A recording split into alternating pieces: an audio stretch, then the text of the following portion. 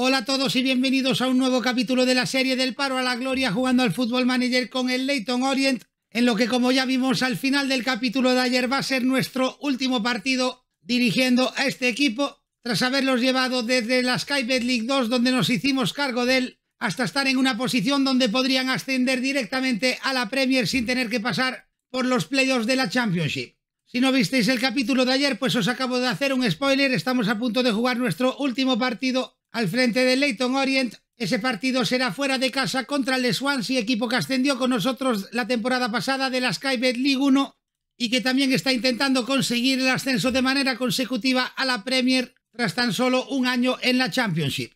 Desde el capítulo de ayer no hemos disputado ni un solo partido, estamos en el mismo punto donde lo dejamos ayer, simplemente que hemos avanzado hasta el partido contra el Swansea, finalmente el partido contra el Middlesbrough que se iba a jugar poco después del partido contra el Swansea lo terminaron aplazando, por lo tanto, en el caso de que no nos marcháramos, ese partido tendría lugar algunas jornadas más tarde. Habíamos dicho que si nos ofrecían 50.000 euros mensuales que nos quedábamos en el equipo, no llegaron ni a acercarse a esa cantidad, por lo tanto, tras haber retrasado la negociación con el Nottingham Forest, cuando vuelvan otra vez con la oferta, la terminaremos aceptando. Era una oferta por 142.000 euros que obviamente intentaremos negociar para sacar un poco más de dinero, pero aún así multiplicaríamos por más de 10 el sueldo que tenemos actualmente, que es de 13.500 euros mensuales. Por lo tanto, nos iremos a la Premier con el Nottingham Forest, que están en la decimoctava posición. Creo recordar que al final del capítulo de ayer estaban a un punto de la salvación, pero tenían un partido menos jugado. Ese partido parece que ya lo han jugado, así que me imagino que no lo terminaron ganando porque siguen estando a un punto de la salvación con los mismos partidos jugados que los equipos que están por delante de ellos. Y efectivamente terminaron perdiendo contra el Brighton ese partido lo disputaron hoy mismo, sábado 26 de febrero, a las 3 de la tarde, son las 5 y cuarto, ya han perdido ese partido. Nuestro primer encuentro sería contra el Brentford, después tendríamos dos partidos contra el Chelsea, los dos en la liga. También jugaríamos contra el Manchester United y el Tottenham, vaya racha de partidos que tendríamos por delante, seguidos después con partidos del Everton, el Newcastle, el Burnley y los últimos dos partidos serían contra el Wolves y el Leeds United. Así que algunos partidos que sí que podríamos ganar, como por ejemplo lo del Leeds United o el Burnley, que son equipos que están en la parte baja de la clasificación junto con nosotros, pero también tenemos partidos muy difíciles, como por ejemplo los dos contra el Chelsea, el Tottenham o el Manchester United. Volviendo a Leighton Orient, porque de momento seguimos siendo managers del Leighton Orient, nos encontramos en la segunda posición de liga, nueve puntos por detrás del Sheffield United, pero con un partido menos jugado y cinco puntos por delante del Middlesbrough, pero también con un partido menos jugado que ellos. Por lo tanto, de ganar este partido podríamos colocarnos seis puntos por detrás del Sheffield United y ocho puntos por delante del Middlesbrough, dejando al equipo en la mejor situación posible para intentar conseguir el ascenso directo para estar con nosotros la temporada que viene en la Premier y volviendo a mirar la previa de la prensa, una vez más tenemos 251 de cuota cuando ayer vimos que teníamos 151. Para este último partido con nosotros no estará disponible Terry Taylor, no se recomienda su convocatoria, tampoco Mason Clark, les quedan aún algunos días para recuperarse al 100%. Larqueche sigue sancionado por acumulación de tarjetas amarillas. A Cooper obviamente ya no lo íbamos a ver hasta la temporada que viene, por lo tanto el once inicial para este último partido será Kili en la portería, Clark Hughes, Rogerio y Boyes jugarán en la defensa, Onien será el medio centro, Ronaldo Viera y Fletcher jugarán en el centro del campo, Kaiki jugará por la banda derecha, Fabio Tavares por la banda izquierda. Y Óscar Ceballos será el delantero centro. Saltamos entonces al terreno de juego para jugar este último partido que jugaremos al frente de Leighton Orient contra el Swansea, un equipo que llevan siendo nuestros rivales las últimas dos temporadas. Estuvimos batallando con ellos por el ascenso en la Skybet League 1, terminamos consiguiendo los dos equipos el ascenso, nosotros como campeones de liga, y ahora también estamos batallando un poco por el ascenso a la Premier, donde de momento nosotros ocupamos un puesto de ascenso directo y el Swansea ocupa un puesto de los playoffs. Las primeras oportunidades del partido están siendo para el equipo local. Afortunadamente conseguimos despejar la pelota tras un saque de esquina y la jugada se termina disipando. Seguimos con el empate a ceros. Ahora tenemos nosotros la posesión intentando crear una jugada de ataque, pero no conseguimos hacerlo. Nos quitan la pelota de nuevo, pero Jack Fletcher estuvo atento y recupera de nuevo la posesión. Ahora es Fabio Tavares el que se abre hacia la banda izquierda.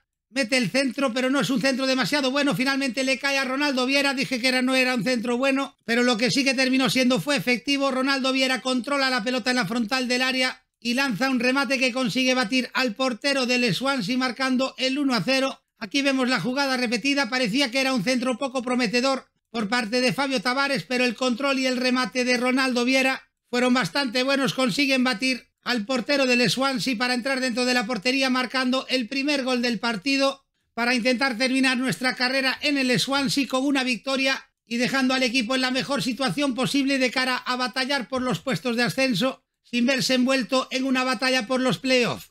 Seguimos con el partido, tenemos la posesión de la pelota, recibe Vieira de nuevo, le entrega la pelota a Ceballos que consigue batir al portero marcando el 2 a 0, su octavo gol de la temporada, pero el árbitro lo termina anulando por fuera de juego, ni siquiera nos muestran la jugada repetida con las rayitas para ver si era ajustado o no, directamente lo termina anulando el árbitro, por lo tanto el gol no sube al marcador, estamos ganando por un gol a cero, llevamos ahora más de media hora del partido y como podemos ver en la clasificación en directo esto nos dejaría seis puntos por detrás del Sheffield United y ocho puntos por delante del Middlesbrough que ocupa la tercera posición. Por un momento pensé que le iban a pitar un penalti a Mitch Clark, afortunadamente no lo hicieron, pero terminaron marcando el gol de todos modos. Quizás el portero tenía que haber hecho algo mejor para intentar evitar este gol del empate con un remate desde la frontal del área. Vamos a ver la jugada repetida. Aquí pensé que le iban a pitar el penalti a Mitch Clark, afortunadamente no lo hicieron porque además tiene tarjeta amarilla y podría significar su expulsión, pero finalmente terminan disparando desde fuera del área y baten a Kili con creo que demasiada facilidad,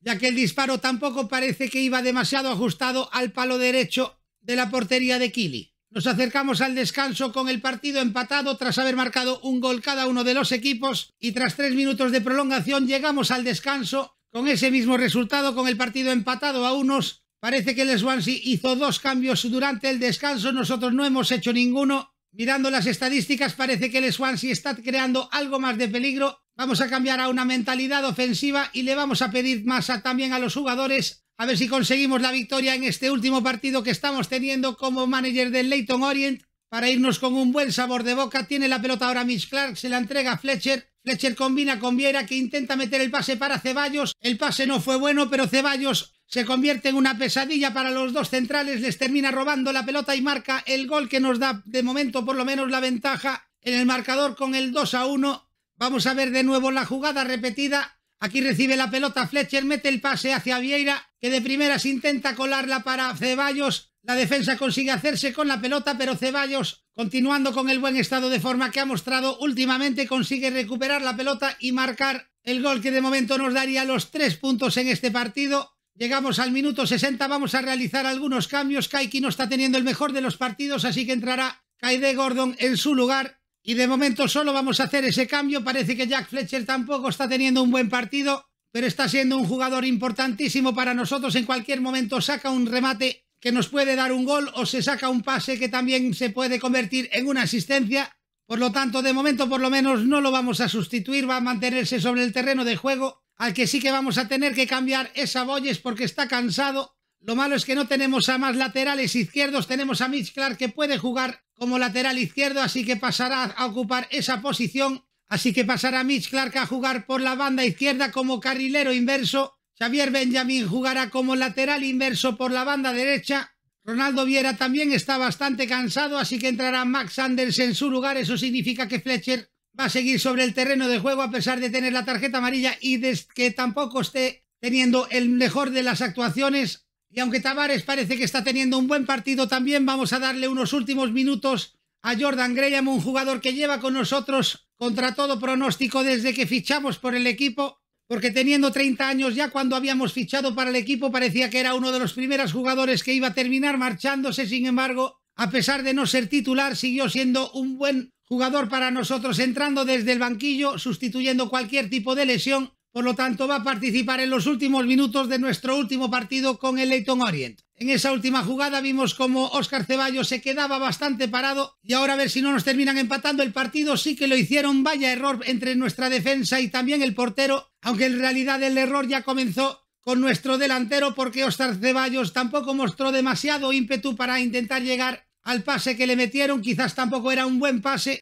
pero aún así se desentendió por completo de él y aquí el pase por encima de la defensa por parte del Swansea parece que pilló bastante por sorpresa a nuestra defensa y a nuestro portero, dado que ninguno llegó a despejar por completo la pelota y eso le permitió al Swansea poder empatar el partido y a ver si no termina marcando un gol que nos robe la victoria en estos últimos segundos. Ahora mismo son ellos los que tienen la posesión del balón, faltando tan solo 10 segundos para que se cumplan los 90 minutos del partido. Clark consigue evitar que avancen por la banda derecha, pero sigue manteniendo la posesión de la pelota. Lo intentan de nuevo y ahora parece que avanzan un poco más. Reciben ahora la pelota en el centro del campo, van a tener la oportunidad de marcar, pero Kili consigue hacer una muy buena parada. Pensé que estaba en fuera de juego el delantero del Swansea, pero no lo terminan pitando. Por lo tanto, será un saque de esquina para el Swansea. Inicialmente conseguimos despejar el peligro, pero le vuelve a tener la pelota el equipo local. Ahora sí que terminamos despejando. El balón le llega a Jordan Graham, que intenta meter el pase para Oscar Ceballos, pero el pase no fue bueno, así que se hace de nuevo con la pelota el equipo local y nos acercamos al final del partido, llegamos al final de nuestros últimos minutos como manager del Leighton Orient, habiendo empatado el partido que teníamos que haber ganado, sobre todo teniendo en cuenta que teníamos el 2 a 1, esto nos deja 8 puntos por detrás del Sheffield United a falta de 10 partidos para finalizar la temporada y con 6 puntos de ventaja sobre el Middlesbrough, que es el equipo que ocupa la tercera posición. Aquí tenemos la situación de las dinámicas del equipo. Tenemos ahora mismo buena cohesión. También el ambiente del club es excelente y el apoyo al manager también es excelente. Eso obviamente será algo que cambie en nuestro nuevo equipo, dado que nos vamos a un equipo completamente nuevo para nosotros. Aquí tenemos la situación económica. Estamos algo menos de 2 millones de euros en negativo, con un presupuesto de fichajes de menos de medio millón de euros y un presupuesto de sueldos de menos de un millón de euros mensuales. El equipo sigue con los planes de construir el nuevo estadio. De momento no se ha iniciado la construcción. Me imagino que eso se podrá anunciar durante la próxima temporada, a finales de esta temporada. Así que eso será algo que no veamos. Nos encontramos entre los empleados favoritos y nos vamos al Nottingham Forest, que está a un puesto de la salvación en la decimoctava posición, un punto por detrás del Luton Town. Un equipo que lleva varios partidos perdiendo. De hecho, el único partido que ganó en liga en los últimos dos meses fue contra el Arsenal sorprendentemente fuera de casa en el Emirates donde ganó por tres goles a cero. Y aquí tenemos la oferta del Nottingham Forest, quieren que juguemos fútbol ofensivo, que fichemos a jugadores de menos de 23 años para el primer equipo, que no les demos contratos largos a los jugadores mayores, un año máximo para los mayores de 32, dos años máximo para los de 30 o más, contratos de mínimo cuatro años para jugadores del primer equipo y hasta para jugadores mayores de 28 años no quieren que le demos más de tres años de contrato. Quieren que evitemos el descenso, así que en caso de no conseguir evitarlo tampoco sería el final del mundo. Me imagino que no nos terminarían destituyendo, nos ofrecen 142.000 euros mensuales durante dos años, vamos a intentar aumentarlo y nos aceptan 163.000 euros, lo que es 21.000 euros más de lo que nos estaban ofreciendo, así que quizás podíamos incluso haber pedido algo más y eso significa que con un par de meses de ahorro podríamos incluso tener suficiente para comprarnos un pisito en la ciudad de Nottingham. Porque teniendo en cuenta que hasta ahora estuvimos siempre en equipos en los alrededores de Londres, nunca hizo falta que nos mudáramos, pero ahora nos vamos a Nottingham, por lo tanto, ahora sí que vamos a tener que mudarnos, por lo tanto, tras dos años y 58 días al frente de Leighton Orient, habiendo sumado dos ligas ganadas, dos ascensos y una copa, que fue la Bristol Street Motors Trophy. De hecho, abajo nos dicen todos los títulos también tenemos un 72% de victorias, ya que ganamos 121 partidos, empatamos 25 y perdimos tan solo 22 partidos. Terminamos como campeones en la Skybet League 2, consiguiendo el ascenso. Al año siguiente conseguimos ganar la Bristol Street Motors Trophy y también fuimos campeones de la Skybet League 1, consiguiendo el ascenso directo de manera consecutiva a la Championship. Va a terminar nuestro periodo como manager del Leighton Orient. En teoría, cuando pasemos al día siguiente, nos haremos ya manager del Nottingham Forest. Y aquí tenemos la confirmación. El Nottingham Forest nos acaba de contratar como manager. Por lo tanto, nuestro próximo partido será debutando en la Premier contra el Brentford, que como vimos anteriormente es el próximo partido que tiene el Nottingham Forest.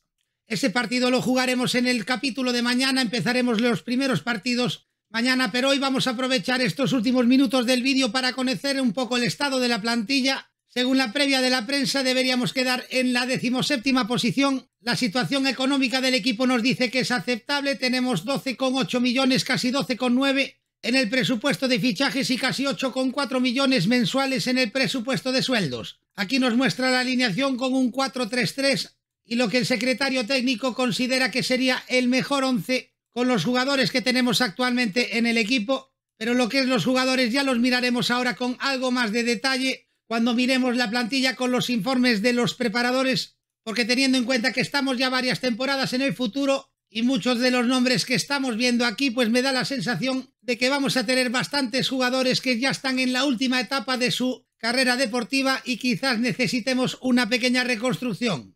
Ya habíamos visto cuáles eran los objetivos, estos son los objetivos de la directiva. Quieren que desarrollemos a los jugadores utilizando el sistema juvenil del club, que acabemos por encima de la Leicester en la liga, que nos mantengamos en la Premier y que tengamos una buena actuación en el caso de que nos toque jugar contra el Derby County.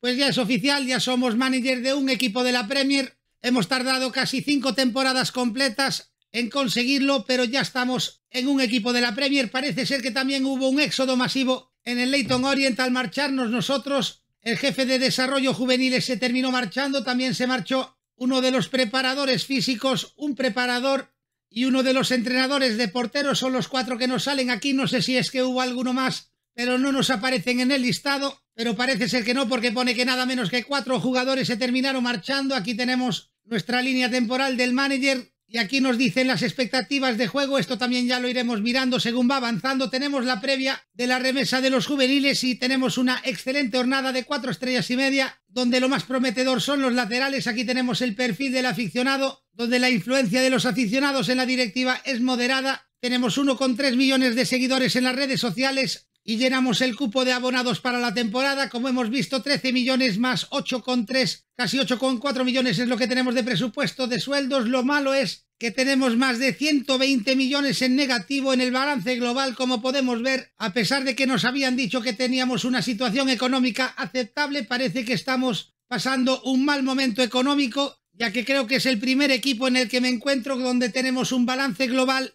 tan negativo, más de 120 millones en números rojos es lo que tenemos actualmente. Nos dice aquí que el presupuesto original era de 37 millones, pero se han reservado 32 para cubrir las cesiones de jugadores que se convierten en permanentes, y que ya debemos tener algunos fichajes concertados para la temporada que viene y el presupuesto mínimo garantizado para la temporada que viene es de 0 euros. En el caso del presupuesto salarial estamos actualmente gastando 8,26 millones, tenemos un presupuesto de casi 8,4 millones, pero el presupuesto de sueldos para la próxima temporada en un principio bajaría a 7,29 millones, aunque esto creo que es en el caso de que terminemos descendiendo. Afortunadamente la previsión parece que es de ir a mejor y no a peor. Tenemos una deuda neta de 131 millones de euros. Sin embargo, la deuda en fichajes está a nuestro favor. Nos deben 4 millones de euros. Lo preocupante es que esta deuda neta no es debido a préstamos, porque los únicos préstamos que tenemos es uno de 2,3 millones por parte del presidente que se le tendría que devolver si se termina marchando y una de 22 millones que estamos pagando a plazos de un préstamo bancario. Así que todo lo demás de esa deuda son pérdidas que de momento parece que no nos están poniendo en apuros en el nivel del fair play financiero, por lo tanto de momento parece ser que no tenemos ninguna preocupación. El equipo ha perdido 76 millones esta temporada, así que parece que va a ser bastante importante que consigamos mantener la categoría para intentar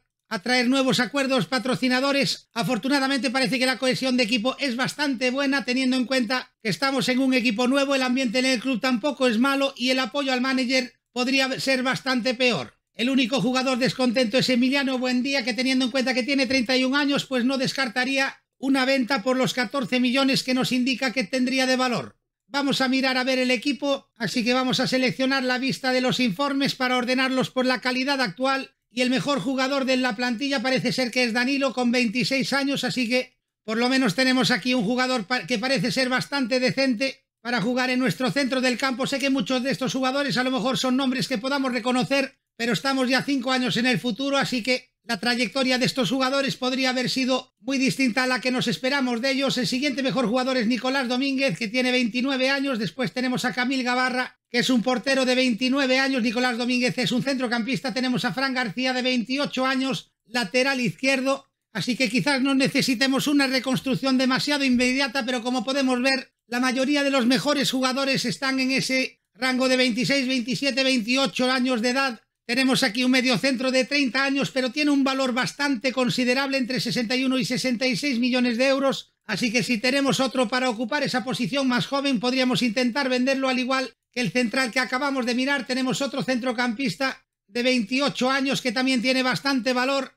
Así que por lo que se ve de momento parece que tenemos jugadores para poder sacar el equipo adelante en la primera o quizás incluso en la segunda temporada. El delantero tiene 30 años, tenemos un extremo bastante bueno con 27 años, tenemos aquí un lateral derecho que también puede jugar de lateral izquierdo que tiene 30 años, así que sí que hay bastantes jugadores que habrá que empezar a mirar de ir moviéndolos. Aquí tenemos a Matías Ulé, un extremo derecho de 24 años, el jugador más joven que hemos encontrado hasta ahora, que por lo que vi en la pantalla de presentación del equipo es un jugador que tenemos cedido, pero lo estaremos fichando a finales de temporada. Murillo es un central de 25 años, pero ya aquí empezamos a entrar en los jugadores de tres estrellas y tampoco es que tenga demasiado valor, así que este jugador quizás es mejor simplemente mantenerlo como jugador de plantilla siempre y cuando no esté ocupando una plaza de extranjero. Artur es otro lateral derecho que parece ser que fichamos de manera permanente a finales de temporada. El lateral derecho que vimos anteriormente tiene 30 años, así que ya tenemos ahí un recambio. También tenemos recambio de lateral izquierdo. Tenemos también un delantero de 25 años, Emiliano Buendía, ya lo habíamos visto antes, tiene 31 años y está descontento por los minutos de juego que tiene.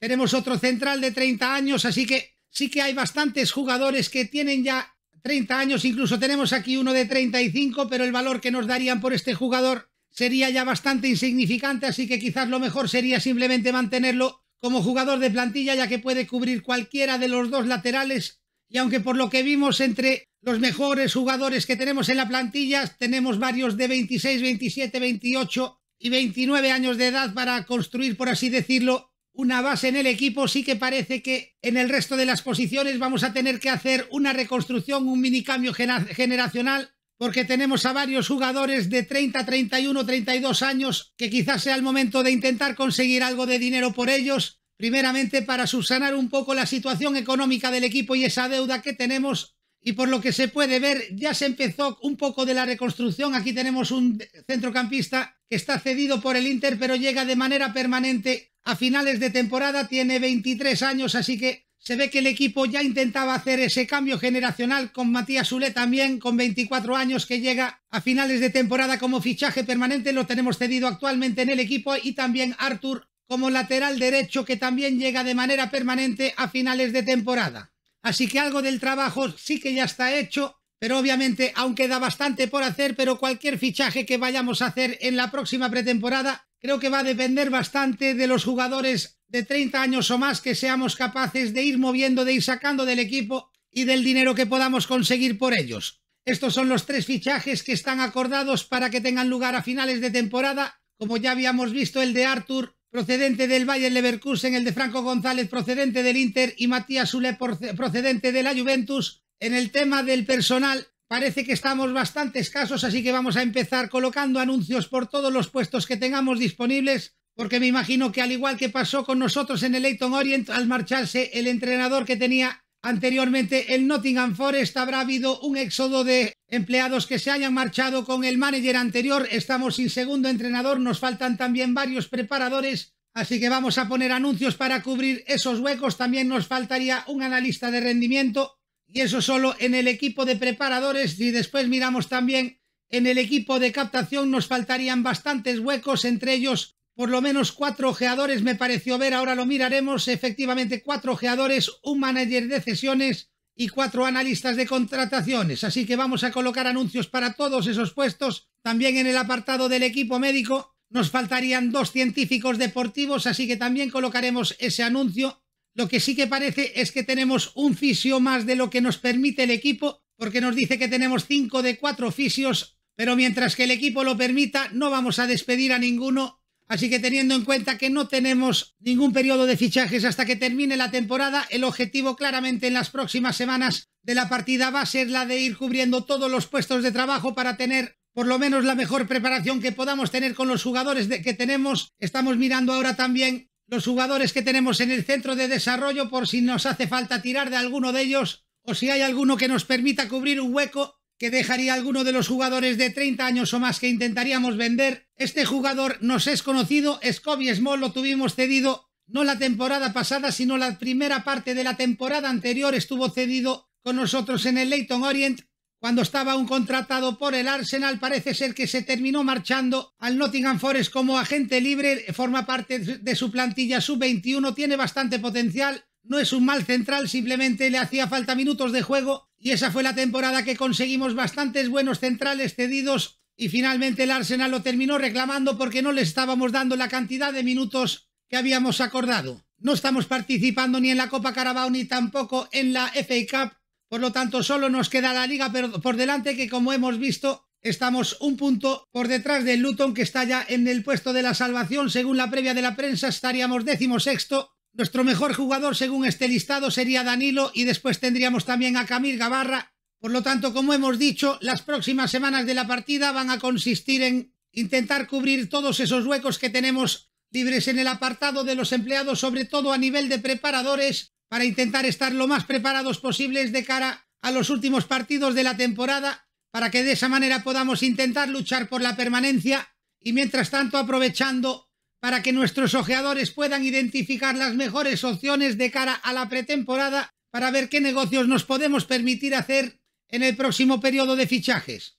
Para el vídeo de mañana, como habíamos dicho, jugaremos el primer partido de nuestras carreras en la Premier, nuestro debut en la Premier que será contra el Brentford y después jugaremos el primero de dos partidos que tenemos que serán contra el Chelsea, iniciando una racha bastante difícil de partidos dado que tenemos dos partidos seguidos contra el Chelsea, después tras lo que parece ser un parón por partidos internacionales dado que el segundo partido contra el Chelsea sería el 18 de marzo y no volveríamos a jugar hasta el día 2 de abril. Volvemos a tener otros dos partidos difíciles de manera consecutiva. El primero de ellos en casa contra el Manchester United y después nos iríamos a jugar contra el Tottenham fuera de casa. No es la mejor racha de partidos para intentar conseguir la salvación, pero teniendo entre los últimos partidos encuentros contra el Burnley y contra el Leeds, que son equipos que también están batallando por el descenso, o mejor dicho, batallando por la permanencia. De hecho, Leeds es el equipo que está de último Además, con bastante diferencia, esperemos que esa última racha de partidos podamos conseguir los resultados lo suficientemente buenos como para conseguir la salvación.